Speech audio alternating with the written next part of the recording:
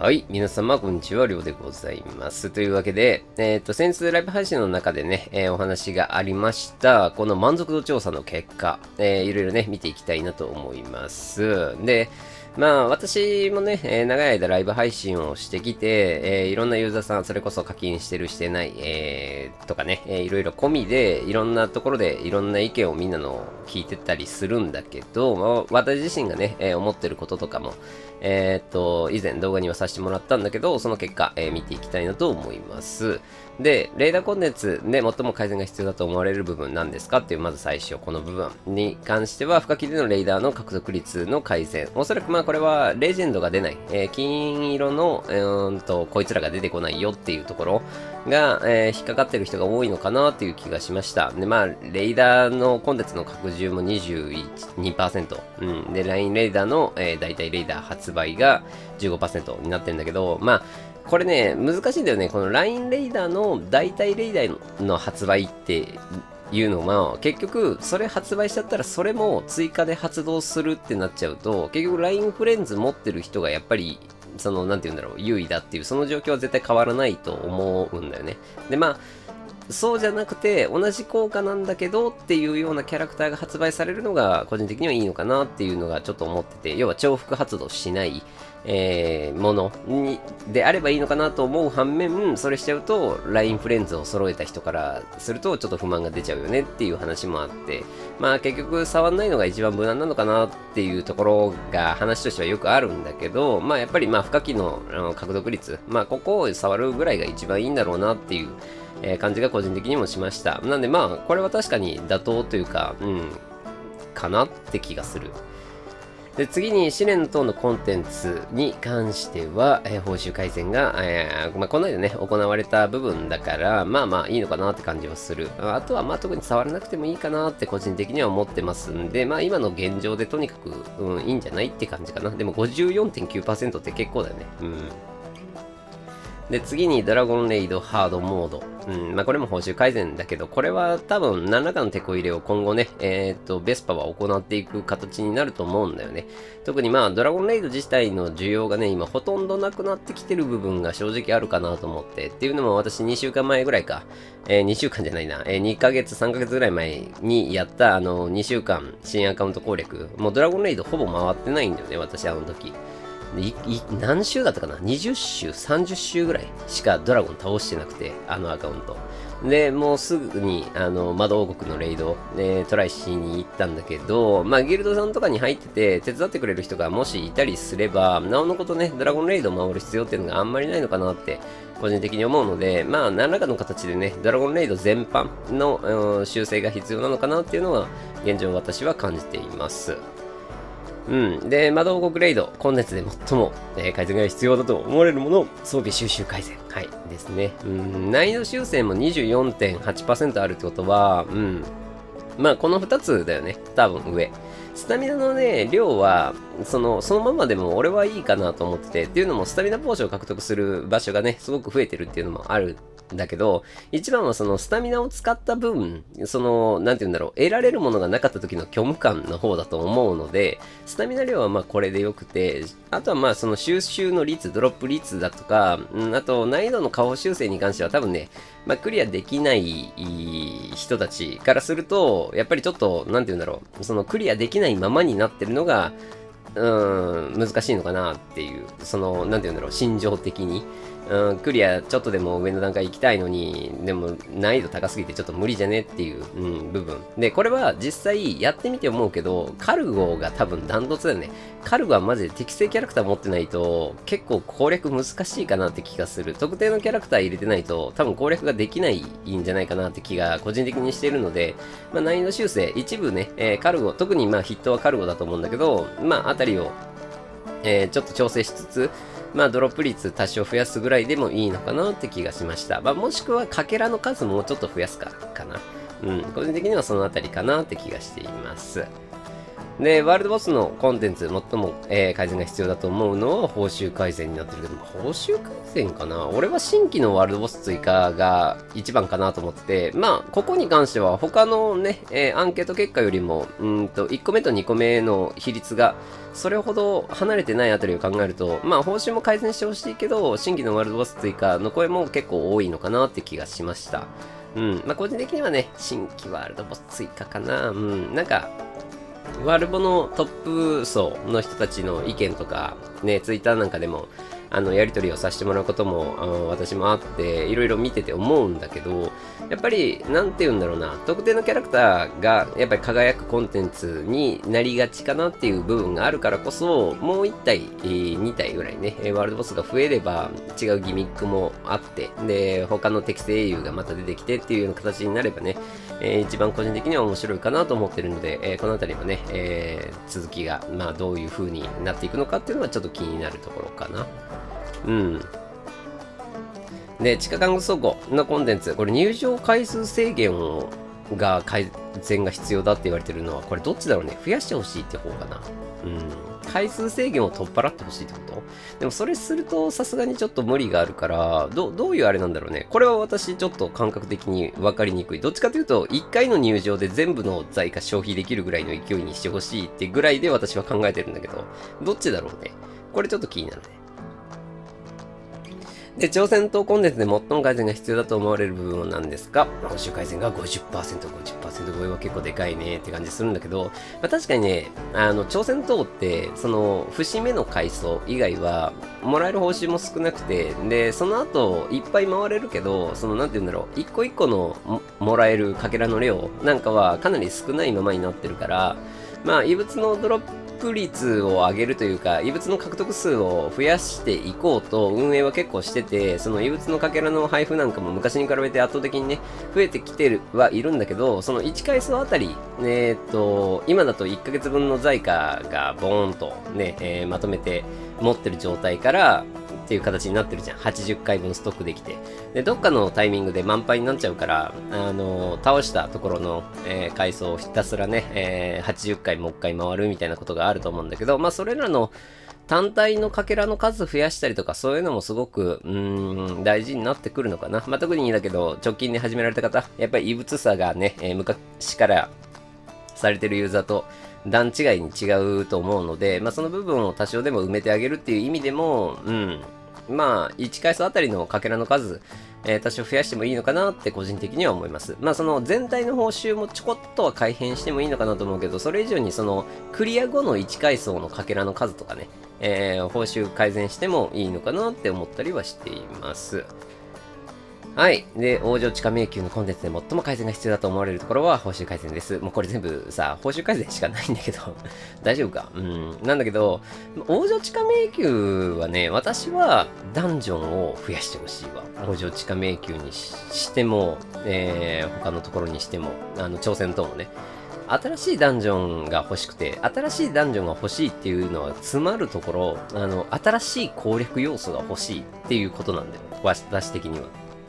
その、どういう報酬がもらえるかっていうところよりも、新しいコンテンツとして認識ができるように調整をしてほしいなっていうのがあって、まあ、挑戦動なんかもう今の段階で100回ぐらいまであったっていうの俺は別にいいのかなと思ってて、ね、特にザ・ファイナルが来てるあたりを考えると80回なんていう中途半端なところで止められてもちょっとなって思うところもあって、で、北条地下迷宮に関しても、その、要はあの5階層ってさ、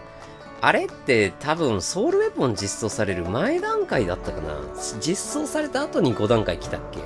もともと4だったんだよね。イメージ的には。で、それがずっと長い間続いてて、5段階が追加されたって形なんだけど、まあそろそろ6段階目来てもいいんじゃないかなって個人的には思ってます。報酬量自体は結構増えてるから、北条地下迷宮自体は。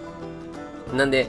まあ、報酬の改善というよりかは、個人的にはダンジョンを増やす。で、ダンジョン増やしといて、そのスキップできるような機能じゃないけど、うん。まあ、極論だけど、6段階クリアできたらもう5段階よくねみたいな。えー、そういうのもあってもいいかもしれないね。うん。まあ、いずれにせよ私的には新しいダンジョンがね、えー、欲しいなっていう感じなので、まあ6段階だったりだとか、挑戦等の85回以上みたいなところもちょっと計画をしていただけたら嬉しいなって感じがしています。はい。チャレンジレードコンテンツで最も改善が必要だと思われる部分は何ですか？報酬改善、版の除去。改善しなくてもいい。割とこの辺はなんか、パーセンテージ拮抗してるね。新規レイドの追加が15%とか少ないな俺的には、うん、新規のチャレイド欲しいかなって個人的には思ってて、まあ昔あった、えっ、ー、と、カーセルフレイああいう感じの、うん、レイドも新しく増えてもいいのかなって思ってたけど、そうか、あんまりみんな特にチャレイドを重要視してないのかわからんけど。うん、まあでも報酬量の改善っていうこれに関しては報酬は増えてんだよな。どっちかっていうとタイムアタックとかの時だよね。多分。ルビーしか配布されないんだったらそこまでみんなやらないんじゃないか説っていうのも昔からこれあったりするので。まあその辺どうやって考えるのかは結構微妙なラインかな。まあでもそこまでみんなチャレイドに対して熱く考えてるかって言われると私はまあ新規レイドの追加ぐらいはいつでも、ま、待ってるぜって感じはするんだけどうん。って感じかな。報酬自体を変えてほしいかって言われたら、うん。まあ、別にいいんじゃねって感じはちょっとしてる。で、一番重要なのはこれだな。宝物庫のコンテンツ。まあ、報酬改善だよねって感じです。はい。急いでください。頑張ってください。さて、サブストーリーコンテンツで最も改善が必要だと思われる部分なんですが、新規のサブストーリーの追加。これに関しても、まあ、ダントツなのでね、えー、このあたりは、まあ、本当に運営も、まあ、分かってるし、サブストーリーに関しては、この間、ロイの分がね、えー、追加されました。てか、ロイの分追加されたの俺触ってないな。ちょっと、えー、後で動画にしていこうと思います。はい。まあ、ざっくりこんなところですね。はい。で、キングスレイドで最も改善してほしいコンテンツは何ですかっていう全体のアンケート、多重回答ができるものに関しては圧倒的にやっぱり魔導国のレイドえー、ジテがレイダー、地下監獄、えー、宝物庫。ね、これがトップ4になっております。5まで行くとドラゴンレイドのハード。うん。だね。まあ、順当かなって気がしました。で、そこから下に関しては、まあ、パーセンテージも徐々にやっぱり低くなってきてるあたりを考えると、まあ、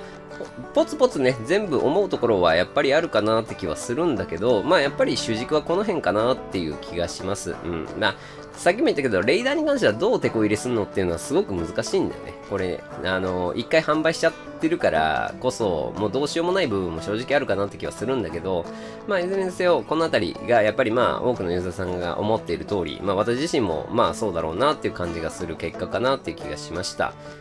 で、えー、それの答え、はい、来ております。えー、2020年のアンケート調査以降、これまで、えー、様々な変化を経たキングスレイドの現在を振り返ってみると、えー、勇者の皆様の大切な意見をより近くで確認することができました。えー、キングスレイドの様々なコンテンツ改善を望むご意見を確認し、申し訳ない気持ちとありがたい気持ちが、えー、共存しました。本アンケートを通じて、えー、魔導学レイド装備の収集及びコンテンツの難易度の緩和と再挑戦について、えー、最も多くの意見をいただき、えー、本物コンテンツとともに、えー、当該コンテンツについてどのような改善を望んでいるの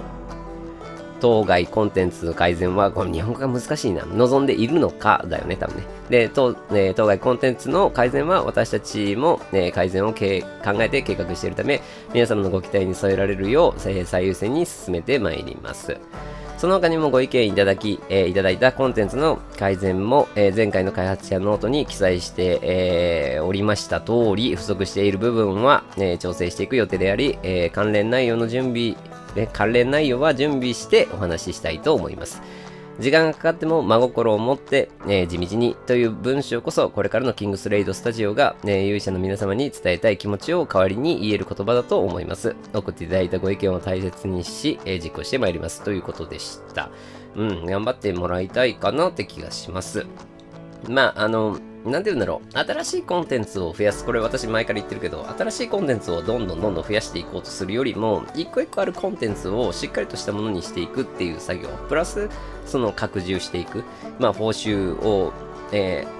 情報修正していく部分もそうだし、その、なんていうの、一個のコンテンツ自体の段階を増やしたりだとか、えー、新たな要素を付け加えるだとか、えー、そういったものでも結構長い間ね、ユーザーさん楽しめるんじゃないかなと思うので、しっかりと、えー、このあたりね、え力を入れてもらえたら嬉しいなと思います。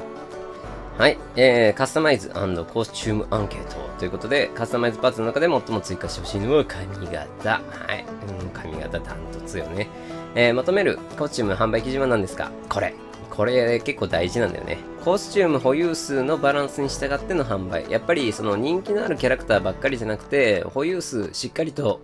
確認して、その中で、えー、調整をしてほしいよっていうものになってます。これ、グラフで見るといまいちわかりにくいけど、73%と他30%だから、ダントツなんだよね、髪型に関しても。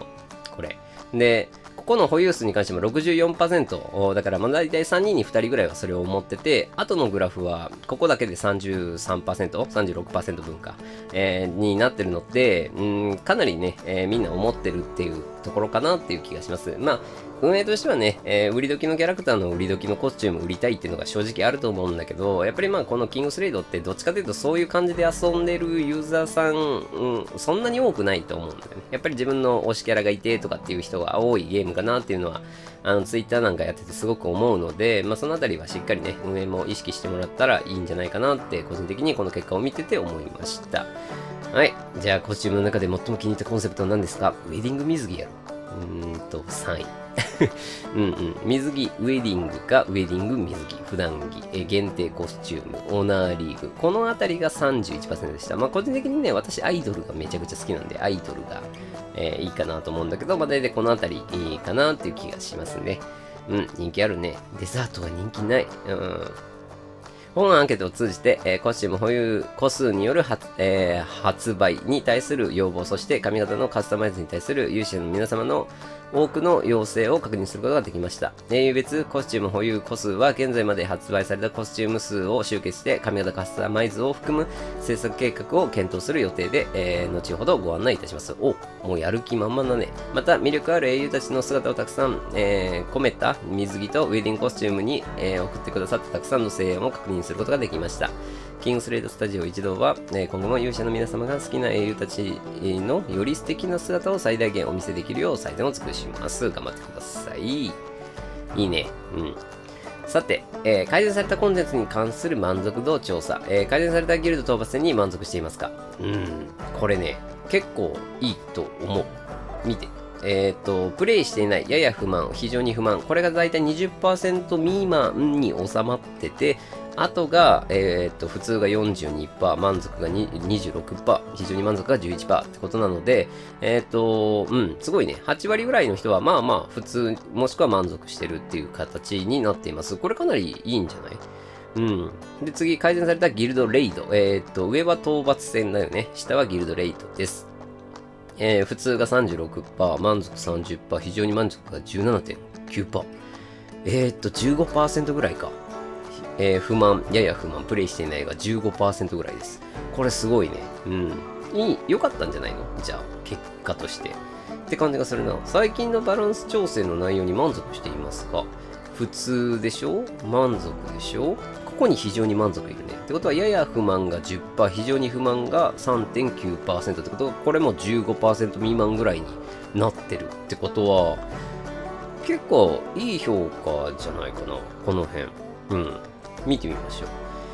英雄の最長瀬戸ギルドコンテンツの改善について、キングスレードを愛してくださっている勇者の皆様にとって非常に重要な部分の一つであるにもかかわらず、今まで望むところに及ばなかったことを深く反省しています。英雄バランスの再調整は、えー、勇者様の愛情の愛情キャラを設計意図に合わせて、また新しい部分を加えて、さらに魅力を魅力的に変えるためでした。また、不満と非常に不満に、えー、ご意見を送ってくださった勇者の皆様の意見を集め、えー、より深く悩み、英雄が、えー、持つ本来の魅力を、えー、出す、えー、バランス調整を求めていきます。進めていきますか。うん、ギルドコンテンツの改善、えー、多くの勇者様、勇者の皆様が、えー、知人や、え仲間と一緒にプレイしていただく、え重要なコンテンツとして、えそれに見合う楽しさと、うん、報酬をお届けするコンテンツになるよう改善に取り組みました。まだ多くの部分が足りていない、にもかかわらず、改善に良い反応を送ってくださったことを大変嬉しく思っております。えー、ギルド討伐戦の性能低下の問題と、えー、ギルドコンテンツの持続的な、えー、保管計画についてさらに、えー、奮発し、より、え良いゲーム環境を提供できるよう最善を尽くします。ご用意している内容については後日開発者ノートなどで、えご案内いたしますと。はい、いう形でした。うん、どうなんだろうね。ねやっぱりまあ、キングスレイドももう3年経ってさ、あのー、まあ、思うところが多くなってやめていくユーザーもいたし、いや、それでもなんだかんだ、ね、えー、面白いゲームじゃんって言って続けてる私みたいなユーザーさんもたくさんいるゲームかなっていうふうには思うんだけど、まあ、最近の運営のあり方は割と悪くないのかなっていうのが、この反応を見てて個人的に思いました。まあ私そこまで今運営に対してこう、なんて言うんだろう、うんって思うところってそんなに多くなくて、でまあ、そのキャラクターに関してもね、例えばまあ、えー、PVP なんかでも一部まあ突出したキャラクターやっぱりいるにはいるんだけど、まあ昔に比べてやっぱり多様性は出てきてんのかなって気がする。そのキャラの数自体がそれこそね、えー、一昔前ってどのぐらいだっけ ?90 体ぐらいの時とか80体ぐらいの時って大体かぶりまくってた部分もあるんだけどまああるんだよ。多少。特定のキャラクターに関してはやっぱり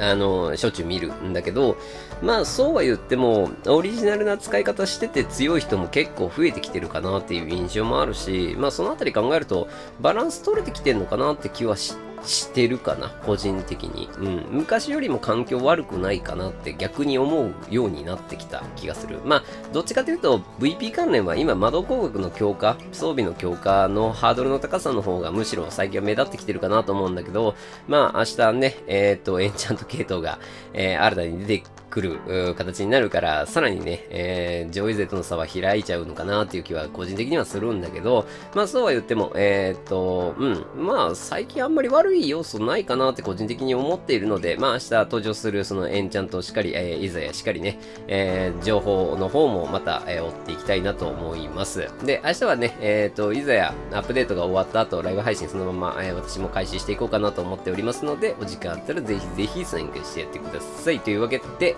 えー、満足度調査、えー、皆さんはいかが、えー、感じましたでしょうか？私は割と、うん、まあ、順当かなって気がしていますが、え今後のね、えベスパさんの活躍にもちょっと期待しつつという形で、え今日はこの辺りで締めていきたいと思います。